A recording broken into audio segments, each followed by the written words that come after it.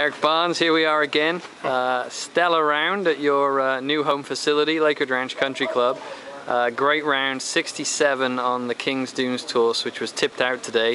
Um, how did you manage to uh, negotiate it so easily? I drove it well and putted good. I mean, uh, luckily they, they let me come out come out here for the last few weeks and practice a little bit. So yeah, it's good to say it's my home golf course now. And um, I just I just drove it really well and didn't really get in any trouble and made some putts. So obviously um, a pretty tough stretch there at the end. You got 15, which is playing I believe around 260 today, par three, and then a pretty long par four and par five and par four to finish. How uh, how'd you handle that coming down the stretch? Yeah, I, I was shocked they didn't move any of the tees up for us. I mean, it was brutal. I mean, it's like hybrid driver.